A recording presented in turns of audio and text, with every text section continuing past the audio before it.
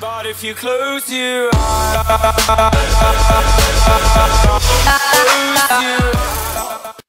Alright guys, what is going on? This is just a really quick tutorial to show you the basics of recording CSGO without very much lag and this applies even if you have a really shitty computer like me.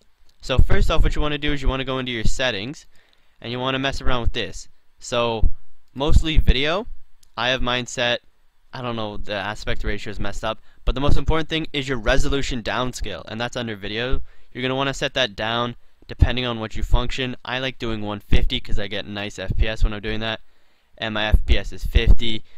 And then my filters bilinear. Obviously you can change this down so that you go faster. You can change this up. It all depends on you. As well as, no. Um, encoding, that's all going to affect uh, your max bit rate. All that stuff is going to affect how fast you record. What I did for mine was I simply set it up so that I could stream so I did start streaming, I set it up with Twitch, and then it said, alright, do you want to do this for your ideal settings? And I said yes, and so it basically just gave me the settings for streaming, which made it really fast. Now, as well, you're going to want to go into your video settings and options, and I have mine turned down all the way. Go with, oh, that is the wrong one. Go windowed, you can do 16 by 9, and then you hit apply. I mean, hate on it if you want.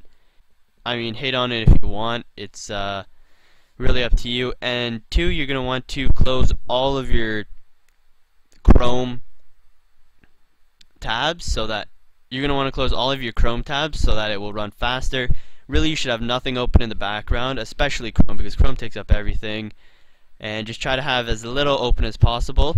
I know it can be laggy with OBS, but you're going to need to turn those video settings down, and hopefully you should have a smooth gameplay footage of CSGO.